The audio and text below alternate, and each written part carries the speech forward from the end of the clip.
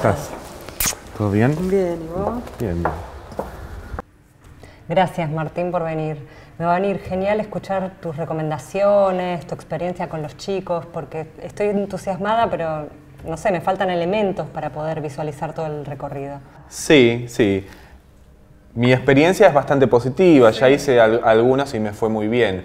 Es verdad que si no tenés experiencia previa puede resultar un proyecto vertiginoso, pero vas a ver que se trata de coordinar y acompañar el trabajo de los chicos, ¿m? siguiendo un esquema muy fácil de implementar y muy sencillo. Empecemos por lo más simple. Dale. Organiza el trabajo en tres etapas. En estas etapas se lleva a cabo y se organiza el armado de cualquier película. Bien. Son tres, preproducción, rodaje y postproducción. Conforma el equipo técnico y artístico. Te conviene trabajar con grupos reducidos a los siguientes roles que son los, lo- los fundamentales. Dirección, cámara, producción, edición y guion. Ya vamos a ver qué es lo que hará cada uno de ellos. Empecemos por el primero de los tres, la preproducción. La preproducción. En esta instancia se plantea y se planifica todo el trabajo que está enfocado a la realización de la película. En nuestro caso, un cortometraje documental. documental. ¿Mm? Bien. En primera instancia se trata de plantear en el papel la historia que queremos contar, es decir, el trabajo de los guionistas. Bien. Y de planificar minuciosamente el trabajo de producción y grabación del material que vamos a grabar.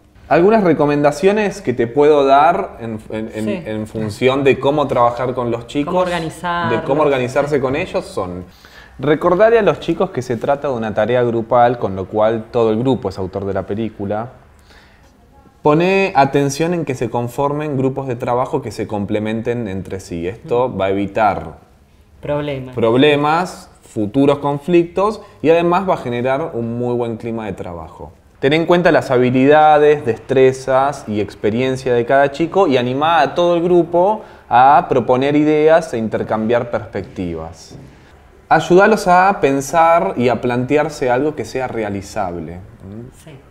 Para lograrlo se trata de escuchar con paciencia y de dedicar un buen tiempo a delinear y definir cuál va a ser la idea general. Insistí en que cuanto más sencilla sea la idea, más se podrá aprovechar la originalidad de los detalles, porque son los detalles los que van a hacer la diferencia. Claro. Sí. Vamos a detenernos ahora en, el- en la escritura y el armado del guion. Ok. Parece sencillo, pero ¿cómo se arma un guion? Bueno, a eso iba justamente ahora. Lo primero que hay que hacer es definir el tema del corto. Ok, el tema es lo más importante. Sí. El tema es la motivación primaria para la realización de una película, cualquiera sea el tipo o duración. ¿m? Y cada chico puede tener una idea diferente respecto del mismo tema. Sí. Y va a ser una visualización mental de cómo se imagina esa idea hecha realidad.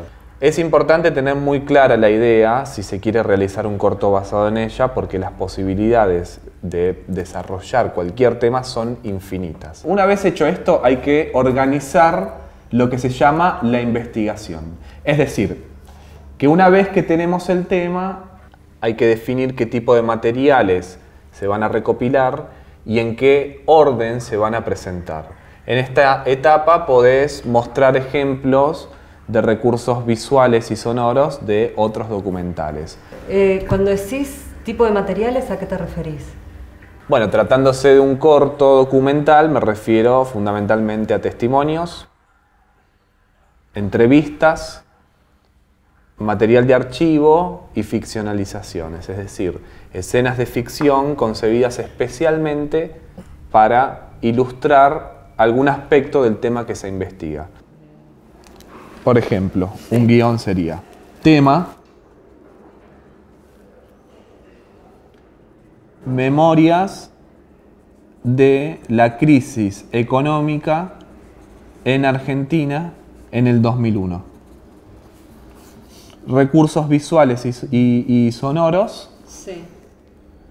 material de archivo del 19 y 20 de diciembre de 2001 voz en off, narración. ¿Y esto ya es el guion? Sí, para un documental no necesitamos un guion tan rígido.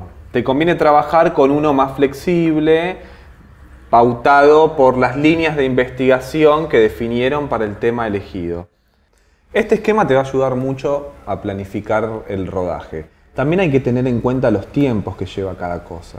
Por ejemplo, Sí. si voy a tomar 20 testimonios, tengo que calcular como mínimo dos horas de grabación. O si tengo que trasladarme de un lugar a otro, debo calcular tiempo de traslado, armado de la escena, si es una entrevista, etc. ¿Cómo venimos hasta acá? Bien. ¿Sí? Me parece que bien. ¿Y ahora ya arrancamos con el rodaje? Sí, ahora sí, llegamos al rodaje o producción.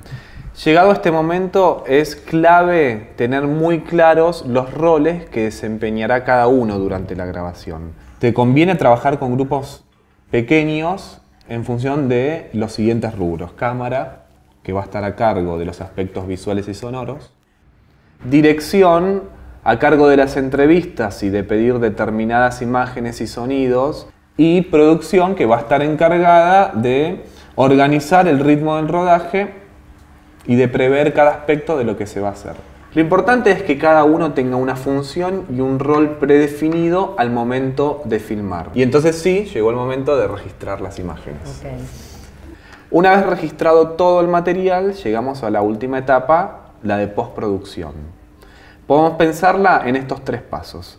La previsualización del material, es decir, es importante dedicarle un buen tiempo a esto, ir seleccionando cuáles son todas las tomas que van a formar parte realmente del corto.